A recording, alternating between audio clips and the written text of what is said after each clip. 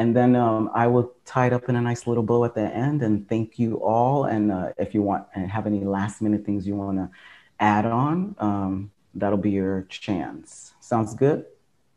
Sounds great. Any questions? I have a confession. Yes. I kept thinking, are we making a documentary or am I supposed to have watched a documentary? Are you I fucking? did watch the documentary.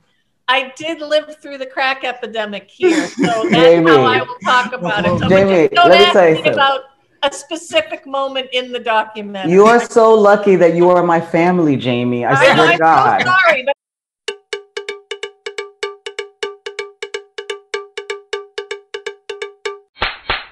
Hello and welcome everyone to Connecting the Dots. My name is Ignacio Rivera and I am your host. And I'm here with a panel of wonderful people. Um, they're going to introduce themselves. So let's start with uh, Jaime. Hi, Jaime Grant. Uh, I'm a recovering addict, an activist. Uh, I live here in DC. I do LGBTQ, racial justice, and uh, sex positive activism. Thank you. All right. Hari. Hi, I am Hari Ziyad. I'm originally from Cleveland, but live in Brooklyn now. I'm a writer and storyteller, editor in chief of a website called RaceBaitr that covers race, gender, sexuality issues from abolitionist lens, um, and also the author of a new book out now called Black Boy Out of Time.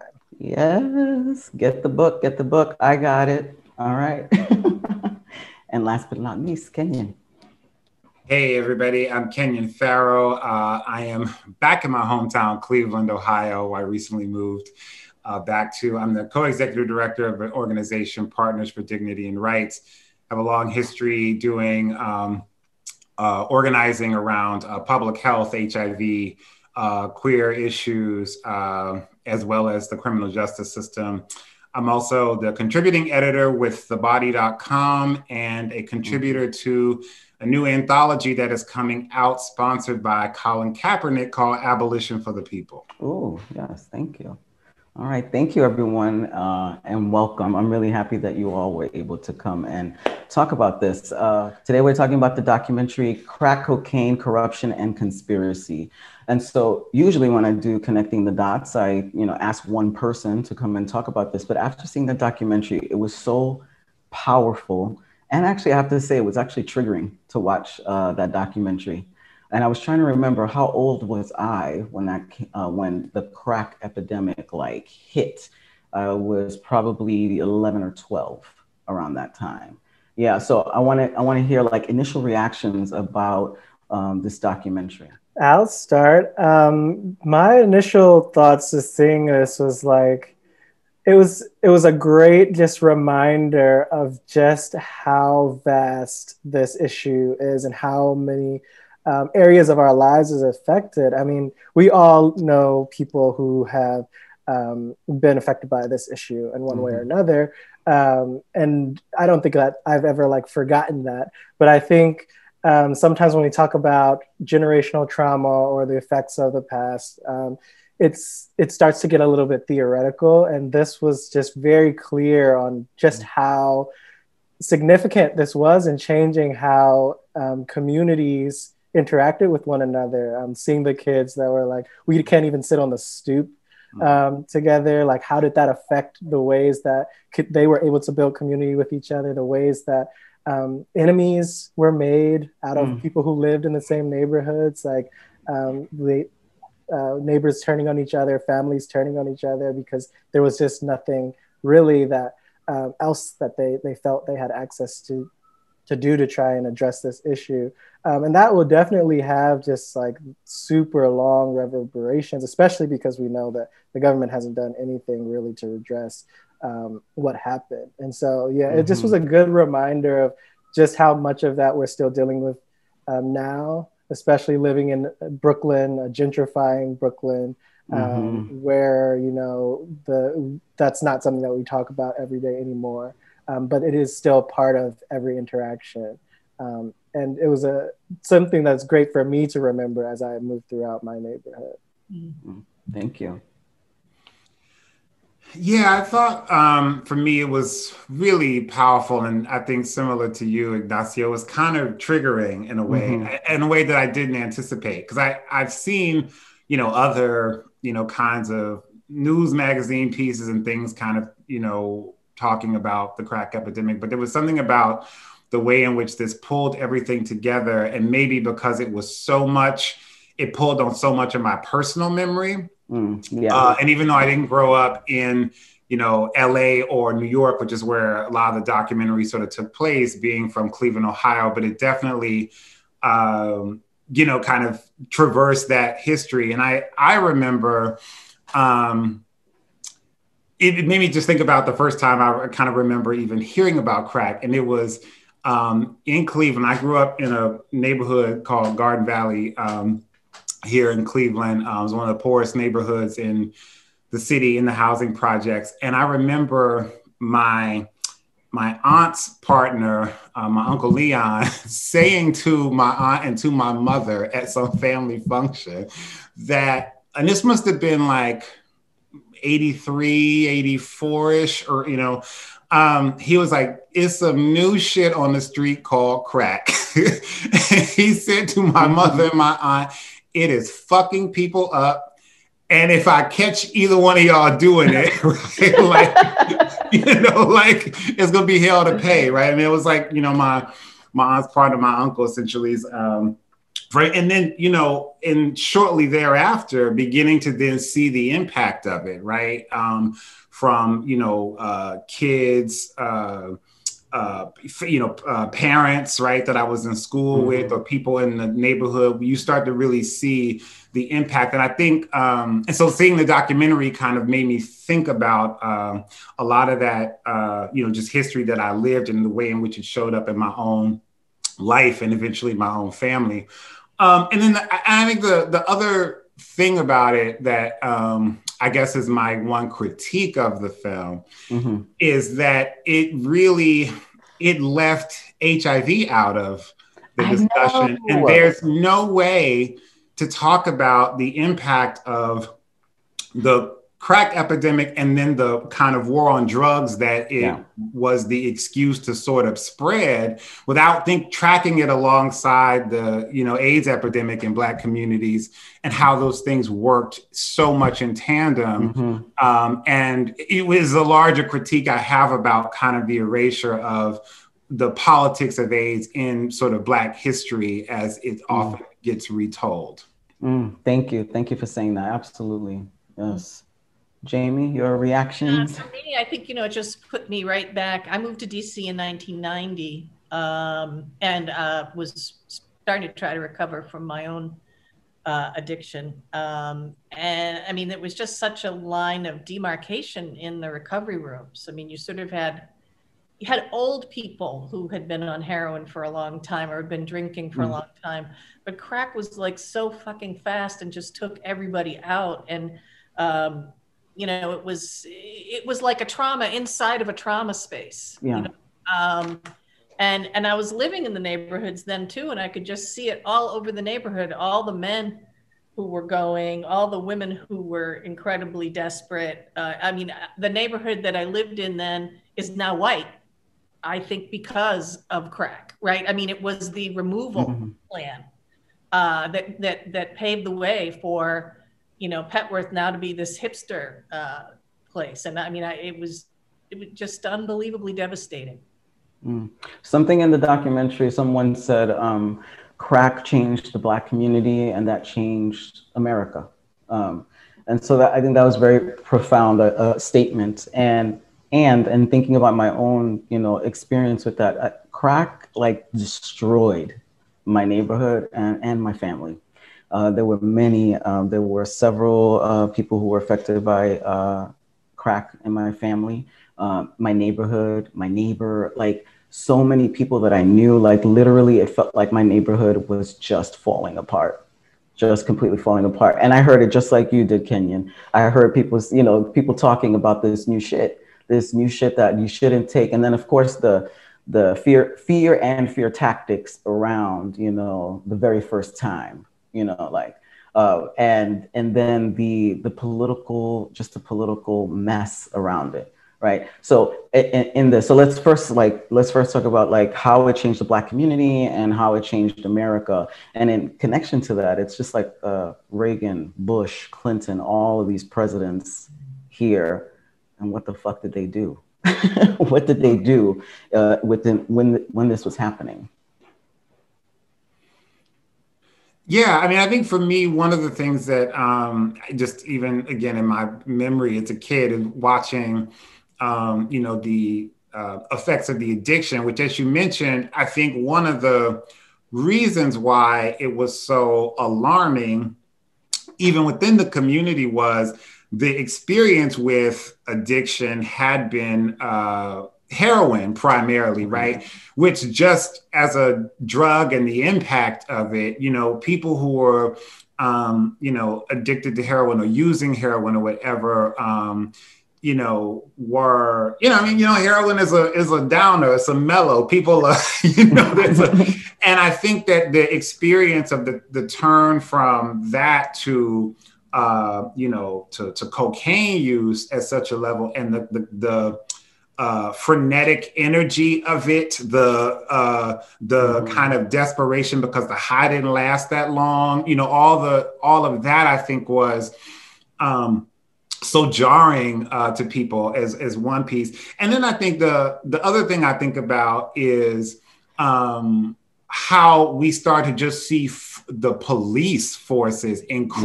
Yeah. You know, in the hood uh, as a result of crack. So there just were, um, you know, it, it, really took well, like I, living in a housing project, and I even as young as I was, there wasn't the kind of like um, police presence until crack started to really uh, become a thing. And, and, probably connected to that was the public policy that put the resources to hire right. more police and right. drive them into certain communities.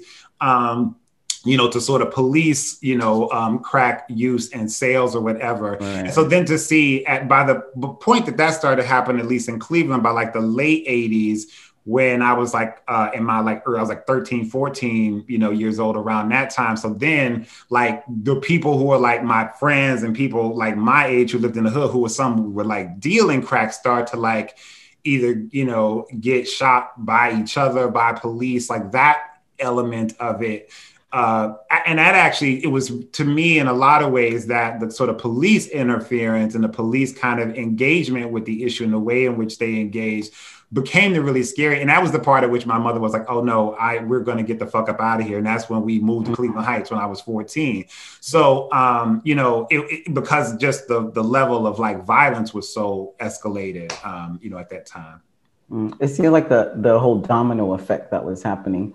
Um, even thinking about like uh, the, the the misconception around um, who was doing crack and um, and then being conflated with who was selling crack and why people were selling crack. It's such a, a, this this thing that feeds on itself, and just more police, more murders, more prison, uh, increase uh, sentencing. Later on, three strikes rule. I mean, there's so many things connected to this shit, but very much connected to um, the just uh, white men in power. Yeah. really. And if I could say quickly too, Ignacio, just to that point, like, so when we moved, left the hood and moved to Cleveland Heights, and then I went to a prep school, mostly white prep school here in the Cleveland area. And then began to kind of like, I saw more drugs in that high school. Mm. And there were either white kids who were dealing coke in that high school or kids who were going to my old neighborhood in the hood to buy drugs, yeah. right? Um, and that was just like so, you know, astounding just to see that that was like so much a part of, and this the documentary also deals with that too that like so many of the actual people who were buying drugs were from like the white suburbs in new york city mm-hmm. um, although that's not who was being policed and those neighborhoods were not being policed in the same way and that was something that i remember just seeing as you know going to, to a predominantly white prep school and and seeing how many kids were going right. to the hood to buy drugs right mm. Yeah, I didn't grow up like so I can't speak to like experiencing what this shift um, looked like or felt like um, personally. Um, but one of the things that that I kept coming back to while watching this documentary is like I've always had a lot of questions about the older generation. I've had these conversations with my mother, like why did you all um, allow certain things or support certain things, especially when it came to policing and, and like the crime bill and all of these things. Um, when like I know my mother in particular like she had no history of turning to the police and trusting them um, and this documentary just made it so much clearer how systematically they yeah. destroyed any other option to turn to mm-hmm. and so mm-hmm. it wasn't even that the people who were turning to this or supporting the crime bill um, or now still have problems grappling with abolition um, right. that they believe that policing is like an adequate way to to address conflict um, but just that there had been so much damage done to the ways that we were able to address conflict within communities um, that there was just no other way to turn mm-hmm. i think it illuminated that there's so much work to do to rebuild those things and rebuild yeah. trust um, especially when we're having conversations across generations mm-hmm. um, in a way that um, that made my work a lot more clear after seeing this documentary. Mm, thank you.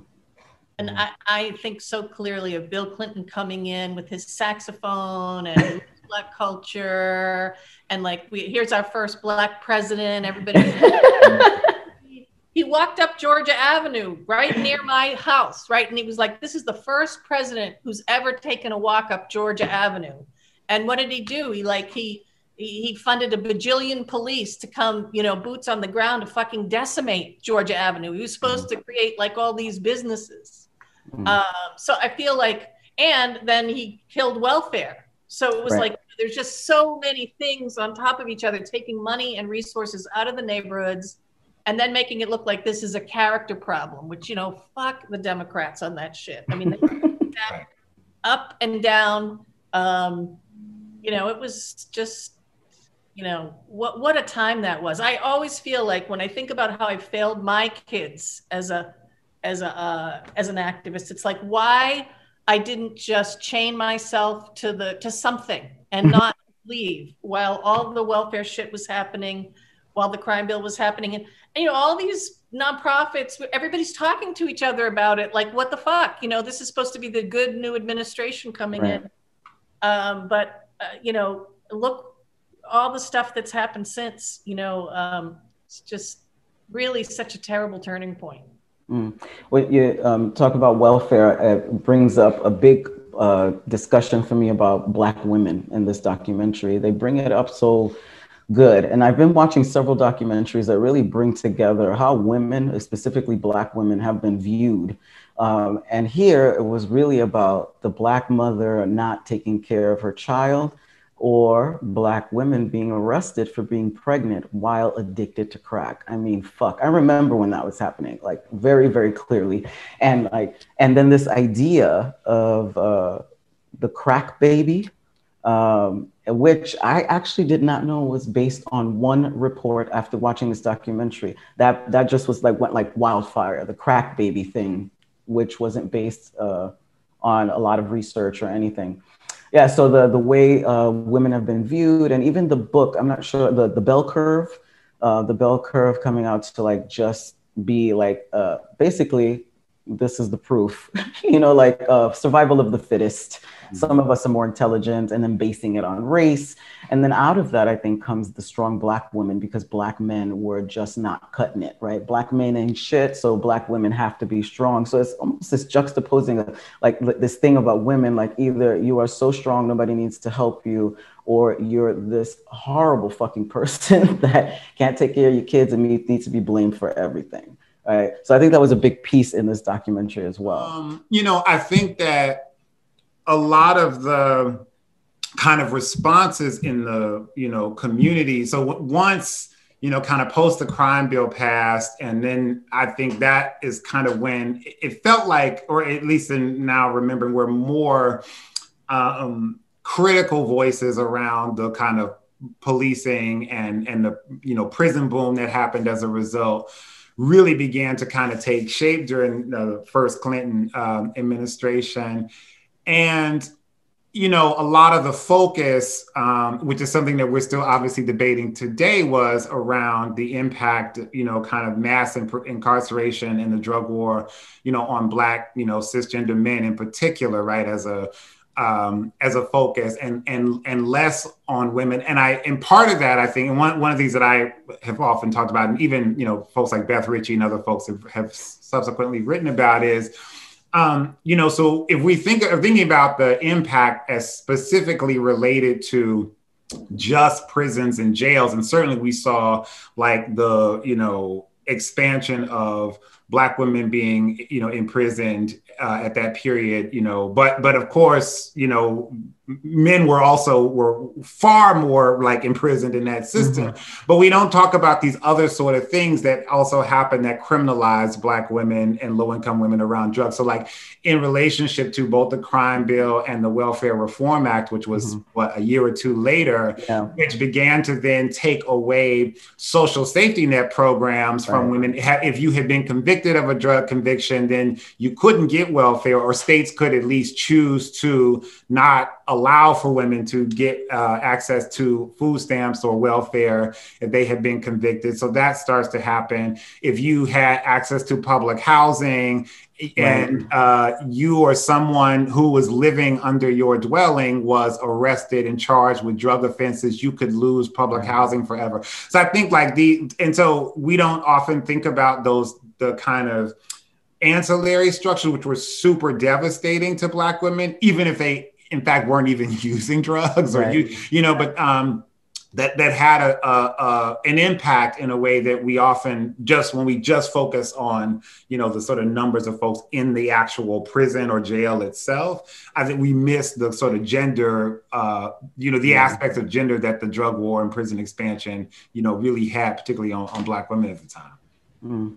i just keep on feeling like it's such a every everything reminds me of fucking slavery just everything you know because it's like here are the black men black men are the problem get rid of the black men rape the women or get rid of the black men and take the children away. You separate families you destroy everybody you destroy community and it always brings me back to that. It always bring, and it, even even you know what's happening at the border you know the destruction of family. You break down the family you break down your connections it's just done you know? And the the the view of you know or the vision of what we thought of when we think about welfare when we think about crack when we think about all that most people automatically think black black people blackness you know? And we don't think about uh, white folks. In the documentary they mentioned this blew my mind. From 1988 to 1994 no white person was convicted of a federal crack offense in los angeles from 19 fucking 88 to 1994 not that I am condoning arrests and stuff, but do you see my point? Like, right, yeah. no white person. So what does that mean? That says a lot. That says a fucking lot, right? Yeah, no, I, I would say being an NA in uh, in DC in the '90s, it was just like you know who was going to treatment, who was coming out of Lorton, you know who was. I mean, it was just absolutely, you know. And at one point, I went to rehab. a really good friend who said, and I know you didn't go to one of those rehabs where they hang a sign on you, Jaime. and I was like, no, I went to the yoga, you know, Olympic sized pool rehab, you know. um, and everybody else, if they were lucky enough to get treatment, were going into these, what they call them, therapeutic communities, which were kind of jail. Mm-hmm. You know, it was just like, and the whole plan was to break you down and humiliate you and you know you'd had you had to work while you were in there. I mean they were just it, you know and they were springing up everywhere because they were fucking funded. You know that was where mm. all my other friends in na went. You know while i went to an lgbtq you know new open rehab you know meet meetings in the neighborhood and you know in houston. I was in houston for rehab and it's just you know I mean, the difference between actually getting support, I mean, that was a pivotal time for me. It, it, changed my whole trajectory. It helped me like get a handle on my sexual abuse, my trauma, uh, and made me realize I had to make a lifelong commitment to, you know, that I had major depression and PTSD, as opposed to somebody reinforcing it, right? You know, creating more trauma. Mm-hmm. But I think feel like I feel like almost like crack or the, the crack was almost like a, I guess a this indication that white supremacy was right, you know, or something like that. So weak. Look at this community falling apart, right? like that no one else had anything to do with this. You know, Black people just decided to destroy themselves and their communities. Um, and th- this documentary, although it falls short on some things, you know, like I feel like it it definitely reminds us about the layers, you know, because we're just talking about a few of the layers. There's so many, so much more that goes into why crack was even available in our communities, why it kept coming in, why it wasn't being stopped. Um, you know, um, the support of, you know, the actual support of drugs coming into our community and continuing to kill people.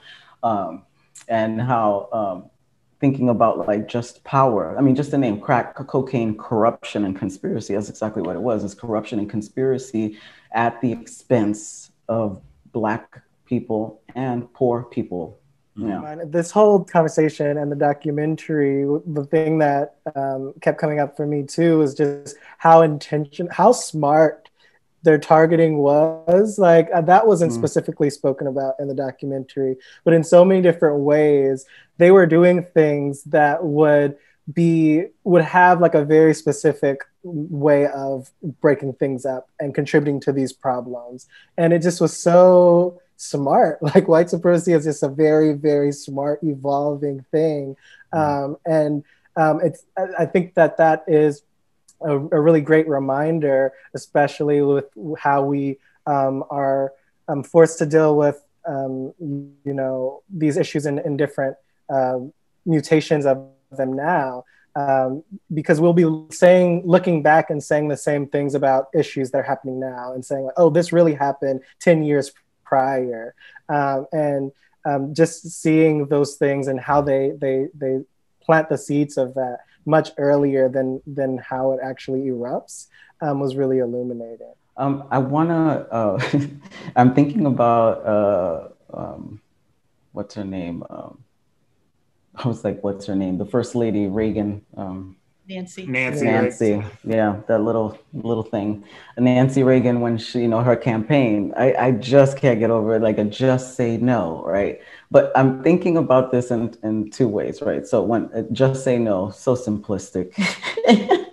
so I'm like, just put it all on the kids, you know, just say no. But I'm also just like in doing a parallel and thinking about why this documentary or why this this uh, topic is important to be talking about you know generationally like not forget about the crack epidemic and how it you know could uh, connect to prevention or talking about sexual liberation or sexual violence and how it permeates and stuff. I'm thinking about just saying no about the drugs, and then I'm thinking about the campaign, you know, like the anti, you know, like um, anti-violence campaign of did you say no? And then about kids, you know, like uh, tell someone. It's always put on the person or people that are being oppressed or something. You know, it's just like, oh, it's simple. Just say no. Did you say no while you were being raped? You know, like it doesn't fucking matter, right? So it's, uh, I'm thinking about these campaigns, how crappy they were, but also like, why is this of any importance to talk to young people at any age, actually? What's the connection? Yeah, I mean, I I think just say no. As Hari was saying, it's so brilliant, right? I mean, it's such a brilliant strategy to uh, make this an individual character issue. Yeah. Not an issue of like all the structural violence that's in the communities, and uh, you know how how how desperate and how few options people have to just have a life, right? And how how much you know the drugs come into that space very intentionally. But when I think about all the work we've been doing for years around sexism, sexual liberation, mm-hmm. and you know, you know, recovery from sexual assault, just say no is what you tell every girl to do around yeah. her sexuality, right? Yeah. It's like really, you know, an appropriate girl, you just won't have sex. right? Mm-hmm and and if sex then happens to you as you say in various violent contexts consensual not consensual it's just your fault it's just you right. know you're um you know there's something wrong with you as a human being and your character and um i mean i think the brilliance of blm in this moment is that it's really ripped the lid off this idea of individuality. And you can see the structures. You can see how big they are, how massive they are, and how even when there's tons of community outrage, they're still going. I mean, it's, mm-hmm. I think you know, lots of people thought, like after Ferguson, oh, you know, I remember there was this thing people was calling about the, the Ferguson effect, like police were going to be somehow more accountable or, or less trigger happy or less. Right. You know I, mean? I mean, the Ferguson effect. I mean, what the fuck? You know, what we've seen is more of it, right? Mm-hmm. Um, so uh, I think that is the gift of this moment and this generation's organizing, which is to somehow finally really make the structural violence visible in a way that it hasn't been on a massive scale to people who really mm-hmm. were resistant to thinking about it that way. Yeah, I think we were able to like I think part of what um, you know for me has happened in the last you know decade of of BLM and well less than a decade, but you know roughly. Um, you know, in some ways, I, I again thinking about the sort of trajectory of like what you know happened in terms of like activism and organizing the Black community, and it just feels to me like we, for decades, were just reeling from one disastrous crisis to the next, right? So we come out of the 1960s with all these assassinations mm-hmm. with uh, you know that were triggering and traumatizing i always you know tell people my mother when she was like 18 19 was had joined the black panther party in cleveland um, and she got out when fred hampton was assassinated even though mm-hmm. it was in chicago 300 miles away. But she had my older sister at the time was a single mom and it was too dangerous right? And so um, you know she left you know the party at that point. And um, I think that so we were, you know, dealing with all of those assassinations, the violent dismantling of, you know, the Black Panther and other kind of black leftist organizations. And I always point to people, to be frank, that the the the feds left um, while they they sort of dismantled the you know black you know Marxists, right? Essentially, the Black Panther Party certainly, you know, could be considered. Um, they left the more sort of cultural nationalists, which were more conservative around gender roles and around, you know, like they and, and more kind of pro-black capitalism as framed. So, like, you know, mm-hmm. the Nation of Islam, the range of organizations that would fit that category, those were left intact, right? So, you know, so what we so then we come into the 1980s where we have you know the the, the drug war happening um, and the again the black panther party had a you know they were already doing some things around um, you know treatment for substance use and uh, creating their own kind of harm reduction programs or whatever in some some places in the country where there were still chapters by, by the late 70s um, and then you have hiv right happen at the same time. And so it, it is of no wonder frankly that the black political forces that were left intact by the state uh, you know so you have the emergence of like black political leadership black mayors and and uh, congressional reps you know who many of whom come out of the civil rights movement who lead you know are now in congress or running cities. And then you have um, you know the more sort of cultural nationalists who kind of frankly would support the, the sort of drug abstinence and not harm reduction and also you know uh, have a particularly conservative frame around the aids epidemic and, and are homophobic to be sure and all of these you know so it so the, the fact that we have some community support for the crime bill in in 94 um, and I should admit that it wasn't necessarily uniform, right? Because even, I mean, even fucking Bernie Sanders gave a speech against the crime bill, right? Which is, you know, um, so there were some people who were critiquing it, right? I just I raised it to say that, but but the the kind of black political forces that would have probably been at play to actually mobilize the community, both around drugs and and the the harms of the the, the kind of violence that was happening around crack uh, around the HIV epidemic, um, you know, and then obviously challenging the kind of state forces to to respond differently in both of those cases. Those organizations were dismantled and gone, and people were either shot dead or they were in prison. Mm. And what was left were the, and that, which is also why in the late '80s, early '90s, which we're beginning to frankly see again, all of the kinds of like you know, uh, cultural nationalist sort of ideas about Black progress, right? Which we're now, mm-hmm. so there's, we're beginning to see this sort of backlash against like queer and trans sort of like liberation in the Black community, which a lot of what I'm seeing on the internet mirrors the shit that people were saying in the late, in the 90s, mm-hmm.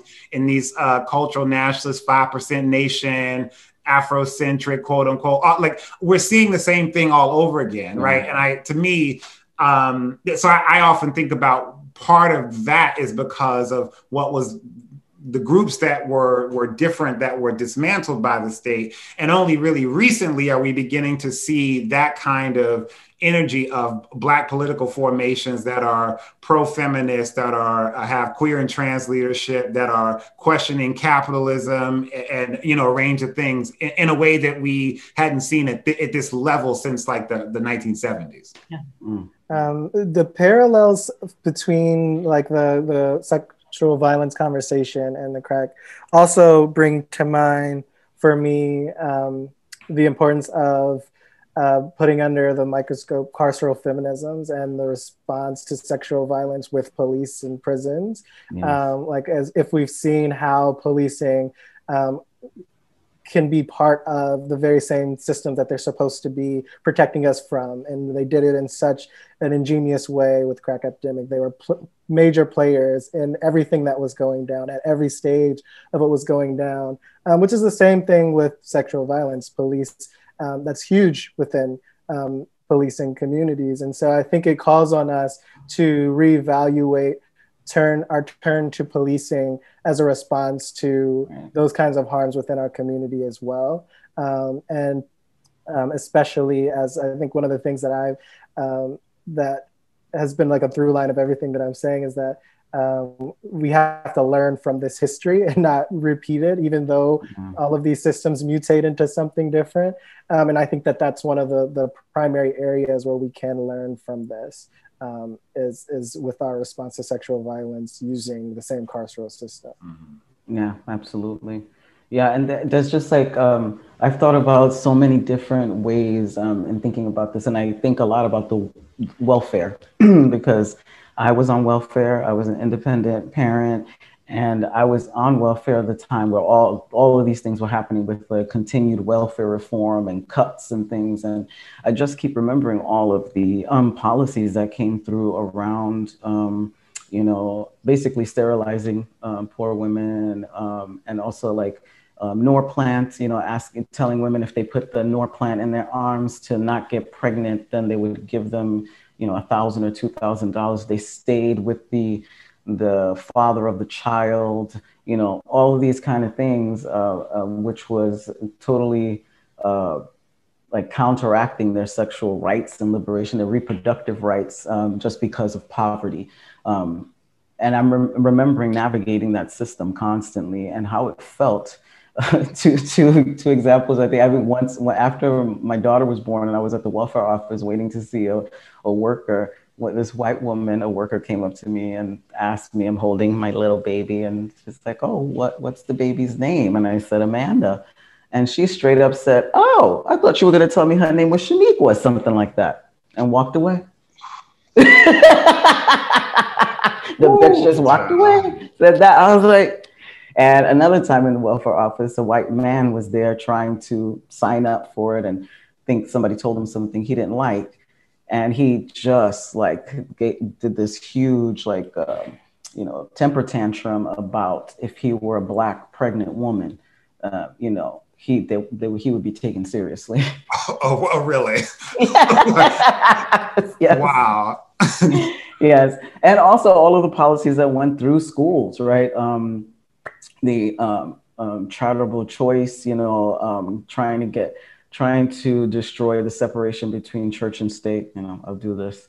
Uh, and um, the fatherhood initiative, um, when you know the abstinence until sex education, all that went through through welfare, all of that. And a lot of people don't know that all of these policies around no sex education, trying to get women to stay with their abusive, you know, fathers of their children, all of it, welfare, welfare, welfare, um, which contributed to the idea of you know black women and black mamas um, and, and, blackness period mm-hmm. um, so to me it's like uh, to me every movement is connected to prevention or CSA prevention. That, that is that's my take because at the at the core, at the very like rawest form of power is the sexual violence and power over a child. Mm-hmm. And that is used consistently in wartime. It is used all over. Um, right now, children are being raped as we speak. And that is very uncomfortable for people to hear. Right. So to me, it's also about the the um, not just the secrecy because crack was something everybody was talking about and stuff, but it's uh, this uh, this kind of uh, the kind of thing that we do, right? You know, I remember being in my neighborhoods, everybody's on crack, but nobody really talked about it. You know what I mean? It was like, stay away from that person, don't go over there. It was always like, this is how you take care, but we're not actually talking about the thing. And so it's like this almost um, uh, ignoring the very thing that's right in your fucking face. And that's the way I see sexual violence, child sexual abuse. It's ignoring the thing like, like fucking right there. But for many people, it's about we need to move on, we need to go on. It's a survival mechanism that doesn't work for everybody, right? So I see those connections like that. Ooh, you just reminding me. I'm thinking about like white supremacy and capitalism and that sort of meld, and and what you're talking about the, um, you know, the kind of like straight up amnesia it creates as people are right in the thing. When I, I, was in rural central Pennsylvania in the 80s running a rape crisis center. So all day long, I'm listening to all this intense violence. And, you know, Reagan's president, and like he's talking about the cities as these cesspools of violence. And where I'm living in rural central Pennsylvania as like you know nirvana. Like there's no violence out here in rural and so many of the women in the shelter are running from their cops right? Yeah. So many of the children who have been sexually abused right? And what's happening in the community is these farmers who have voted for reagan twice are losing their farms to factory farms and the entire economy is turning into a prison economy. Mm. And you know and i'm drinking so every night i'm drinking at the bar with these white farmers who love reagan and he's killing them and these prison guards wow. while doing this work. I mean you know my addiction was you know wow. And um, like, what a front seat to how these policies are playing out you know and how white people consistently you know in the um, you know the fantasy of you know white uh, you know landed gentry you know what i mean or whatever yeah. the fantasy of white supremacy like uh, destroy themselves just they destroyed their own families mm. you know yeah. you know in all this you know racist view of who was violent who was a drug addict who was a sexual abuser or any kind of an abuser. Uh, just and they loved Reagan. I mean, my God, I fought every night in those bars. yeah, and I mean, you even see that dynamic now. In the we talked about the sort of opioid crisis and oh my god. about it. And, and, you know and it's it's you know the now cliche you know everybody's like yeah we're the sympathy and the way we're responding differently is you know because mm-hmm. it you know at least initially was viewed as um, you know an issue for white rural america. And, and that is certainly true. Um, but yeah but we're i feel like kind of seeing the same dynamics in the sense that um, you know so we just are you know in the midst of that and being you know back in ohio now with um, prior to covid opioid deaths were uh, you know from my reading before i moved back like one of the number one you know sort of reasons for mortality in the state of ohio. So um, and and particularly um, in the, the southern part of the state.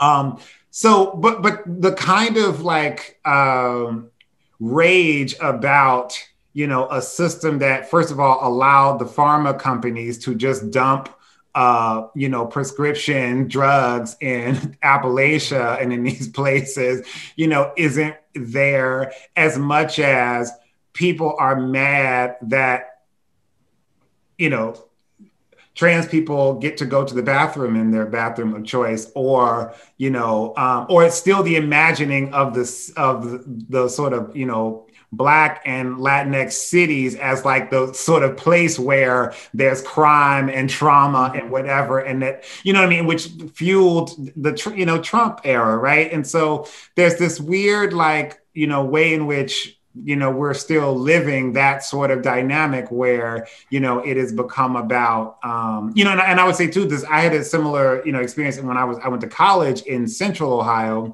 um, in uh, ohio wesleyan university um, in a town of less than 20000 people and I worked, I lived there the whole four years. I didn't come back and forth because I worked for the public school system in town and I worked in one of the poor, like the elementary schools on one of the like poorest sides of town.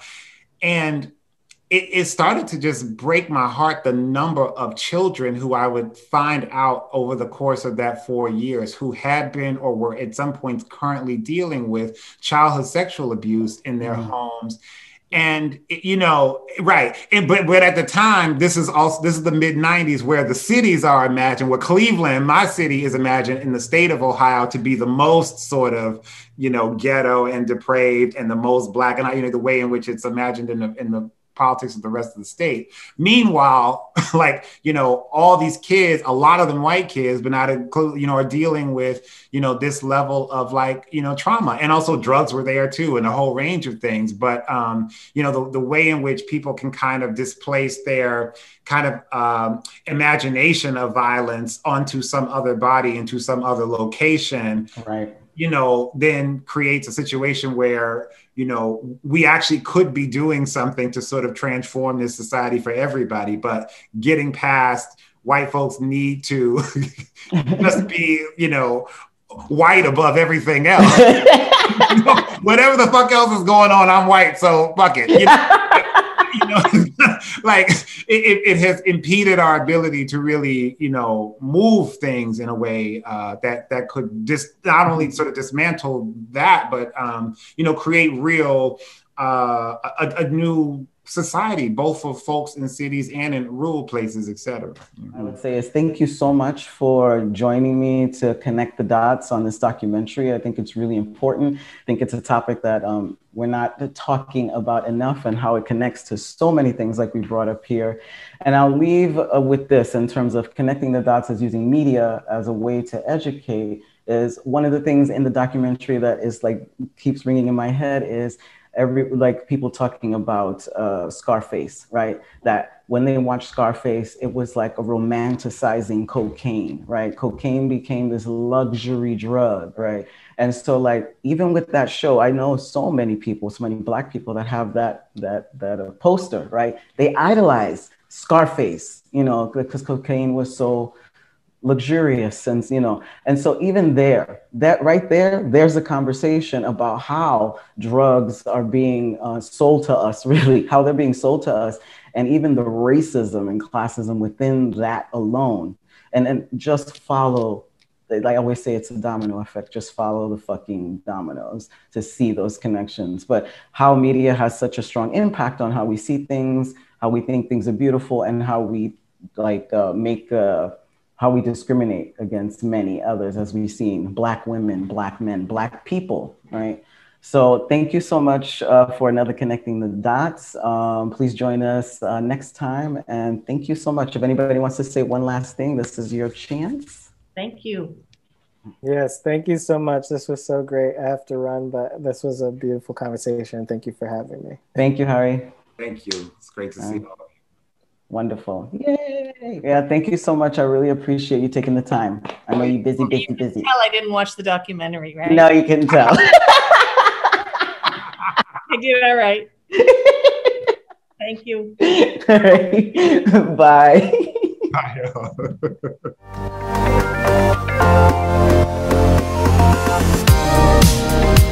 Bye.